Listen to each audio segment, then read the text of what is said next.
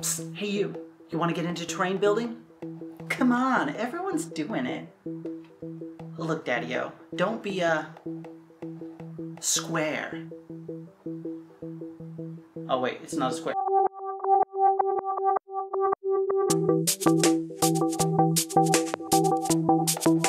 Hi folks, welcome to Glittervoid Gamecraft. My name is Eric and this week we're continuing the village building series with a new series within the series of the town square, the center of social and commercial transactions throughout the city. And what contact with a nefarious element or criminal informant would be complete without a chase scene or a skill challenge that involved jumping over fountains and knocking over townsfolk and kicking over carts and crates of various fruits and vegetables. So like every protagonist out for revenge, let's start at the bottom and work our way up.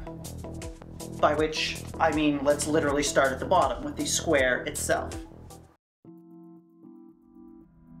The only definite plan I had going into this was that I wanted it to be a four-way intersection.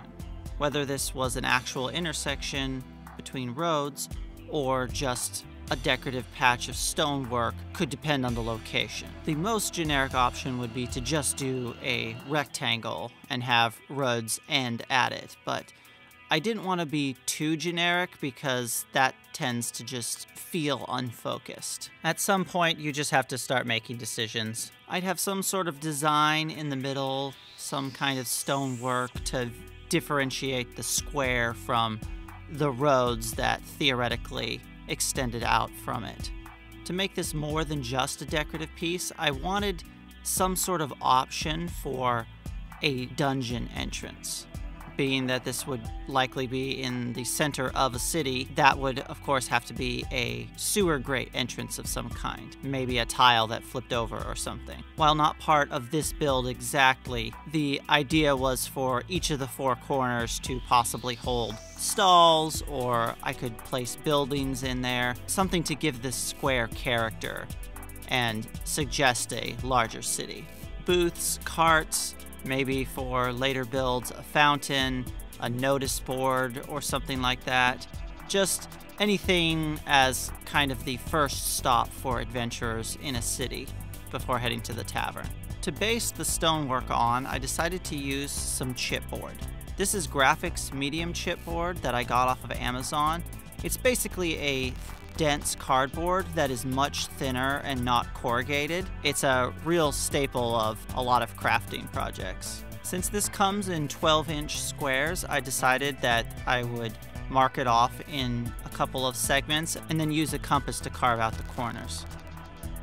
Finding the center of the piece by marking the middle of each edge, I then use the compass to draw a 6 inch wide circle to just kind of mark out the center of all of the stonework. This was really more just planning, kind of the crafting equivalent of thinking aloud, because this would just be the base and not actually hold any of this detail. Cutting out curved corners is always tricky, but especially on chipboard, it's very dense and you gotta be careful because if you put too much pressure, then you end up cutting outside of your lines and having a rough edge.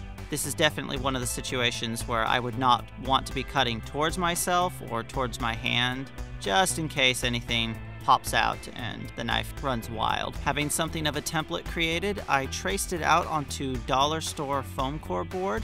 This is the cheap stuff where the paper pulls off quite easily. Once this was cut out, I removed the paper from one side on pieces this large, you have to be careful that you don't just pull willy-nilly because you can introduce a lot of warping to the material. Keeping it flat on the table is best. I marked off the stonework on the corners with a mechanical pencil lead and my finger to kind of mark a arbitrary depth. I cut into the line using my X-Acto knife and then expanded them using a mechanical pencil with the lead retracted I wanted all of this decorative detail work to be very distinct from any of the cobblestone. I also made sure when adding the brickwork to make sure that the lines extended all the way down the sides, since in most cases you'd actually see that. Stone texture was created just by rolling a ball of tin foil all over the surface to create various indentations, and then carried that on over all of the surfaces, making sure to not forget any of the exposed edges as well using the base slash template to find the center point of the piece. I very lightly marked it on the foam with pencil and placing a small square of chipboard down so I wouldn't dig a hole into the very center, used the compass to carve out the outer and inner ring of all of the stonework. That was expanded and then the individual bricks added with an X-Acto knife. At this point, I had to commit to some sort of design, so I decided to create a sun.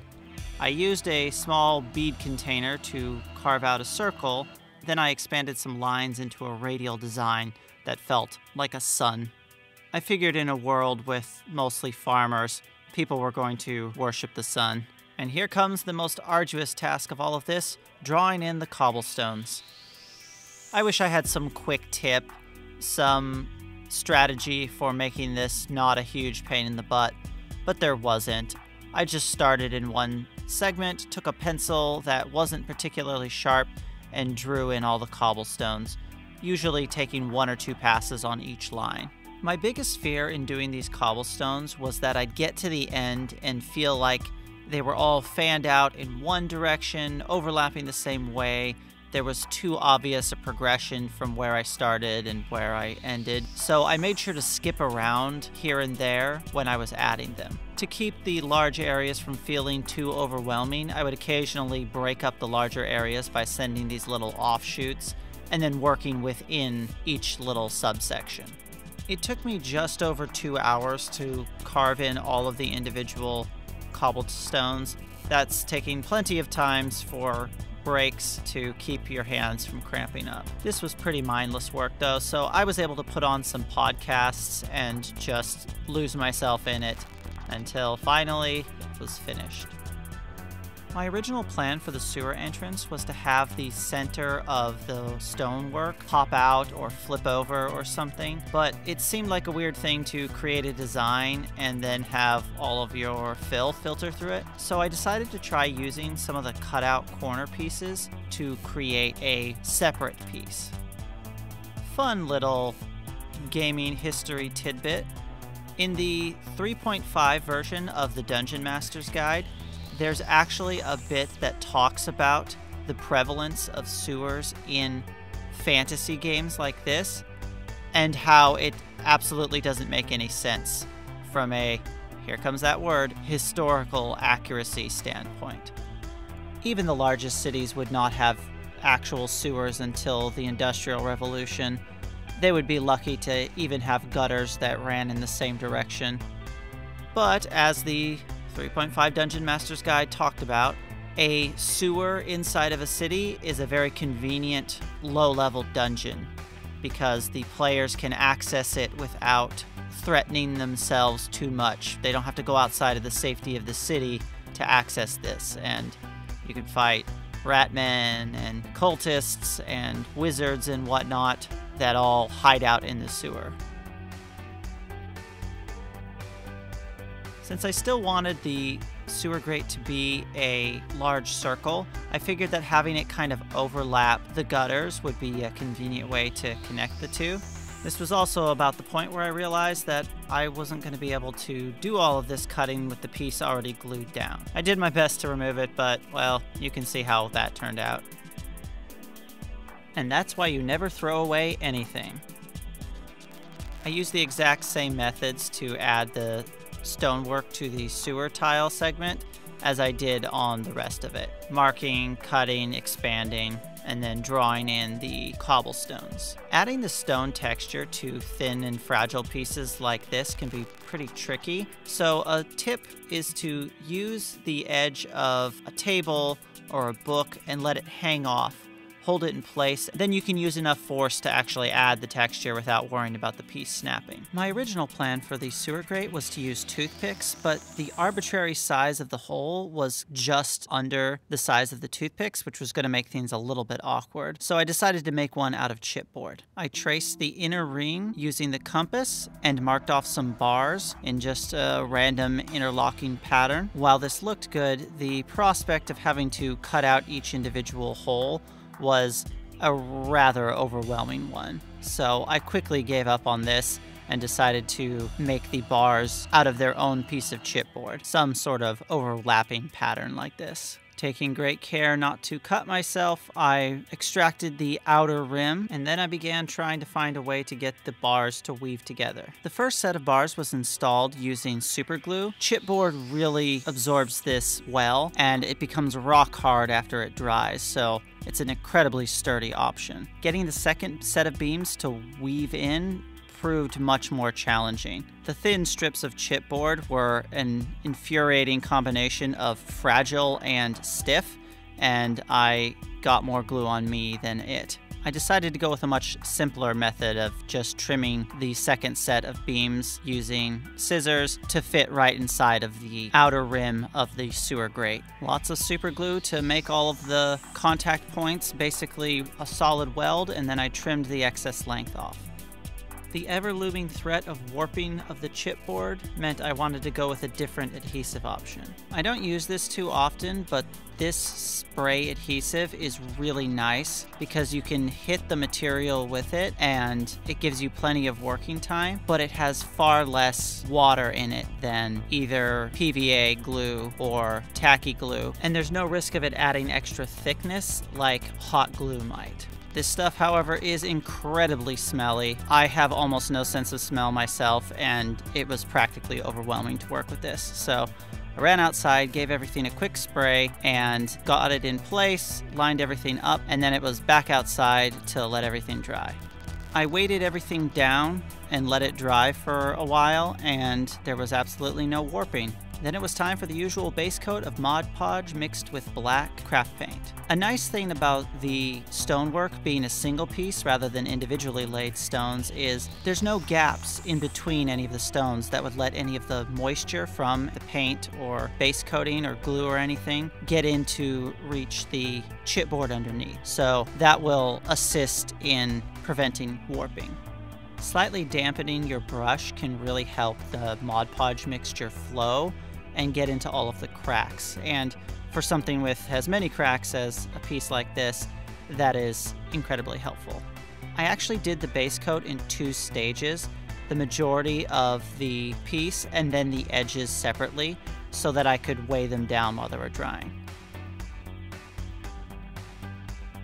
The sewer grate got a base coat in gunmetal I didn't actually worry too much about getting a solid coat about this because this was going to be so grimed up that this didn't need to look like new shiny metal. I went with a slightly darker shade of gray for the base coat of all of the stone. I thought that maybe starting with a darker color would help me not have to use as much wash to darken everything down versus starting with a sort of middle of the road gray. As usual, I picked out several different colors to fill in random bits of stone as well as to deal with the mural piece in the center. I arbitrarily distanced each individual stone of the same color family as I worked my way around, and then when I hit the next color, I just kind of split the difference. By continuing the pattern of the next color down went in between all the existing stones, I had this kind of unintended effect that the first colors I laid down were sort of rare, and by the time I got to the very plain end of the spectrum, I had a whole bunch of the light gray and even more of the sort of middle gray. It kept the pattern from feeling too cookie cutter, more like they had sort of grabbed whatever they had, and there was plenty of gray rock sitting around and much less of the tan and even less of the red. I also broke with this pattern by going through and doing just a handful of rocks in a very light off-white. To bring all the colors together and start a highlight, I used a suede and gave everything a dry brush. For the washes, I decided to mix things up a little. With such a large area, just using one color could feel a little boring, so I used both a black and a brown one, both the homemade. I worked with both at the same time, not being careful, not cleaning my brush between. There was just a real nice mucky mess to it all. Once that had dried, I hit everything with a light gray dry brush. Things were still feeling a little bit too clean, so I made a very dark brown wash using acrylic ink. I started by just dropping it in between some of the grout lines and letting it flow where it would, like dirty water would, and also hitting those vanilla stones, but I ended up liking it so much I used it on quite a few surfaces.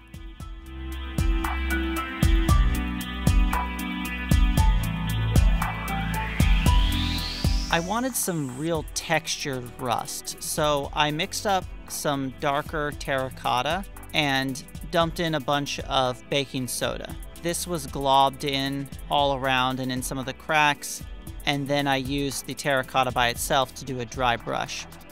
It was bound to show up sooner or later. There was a little bit of warping after all of that work with washes. I had a bit of a crazy idea that I wanted to try before the glue option. I just used some plain old water and sprayed the back and then weighted it down. After about 30 minutes, I took everything off and saw that it was working a little bit I tried to introduce a little bit of bend to it since the cardboard was still damp, and then I sprayed it again and left the weight on overnight. The next morning, all of the warping was gone. The brown ink wash was so successful that I decided to make some using a green ink. This initially was a little too atomic radioactive green, so I added just a little bit of brown, not even an entire drop. Just like with the other ink wash, I mostly use this in all of the cracks. Some sort of slime or refuse leaking out of the sewers to create the illusion of the sewer being much deeper than it was. I painted the interior black. You would mostly only see this between the bars of the sewer grate. Then it was outside for a coat of the matte varnish before adding the grass and water effects. I wanted to try to create a moss effect with this static grass. Really a fine turf railroad flocking would be better for this, but I did my best. I wedged some glue in between some of the holes and just dropped on some of the turf. For the water effects, I used a brush-on satin varnish. I basically just put this in between any of the cracks, especially on the sewer grate, to imply dampness. Then it was time to glue the grate on. The static grass actually looked exactly how I wanted it to, except for the color. It was way too bright for a nasty little patch of city grass, so I used a brown wash to just darken everything up. And voila, city square and sewer grate. As this is the first piece in this mini-series, there's not really that much to talk about. It's the canvas upon which you build your city scene and encounter. I'm really impressed with how the warping of the base was solved with just some water. I've actually been avoiding using chipboard as much as I might otherwise because of its tendency to warp, but if it's that easy to fix, I might just use it more in the future. You know, it's not even a square, it's really more of a partially concaved irregular octagon. I hope you enjoyed the video. If you did, let me know in the comments below and any ideas that you have for keeping material from warping. Always looking for new techniques. If you found anything particularly useful, consider giving it a thumbs up and subscribing to the channel. It really helps me out. In the next video, I'm going to be getting my feet wet with some new techniques, so foreshadowing. Thanks for watching and I'll see you next time.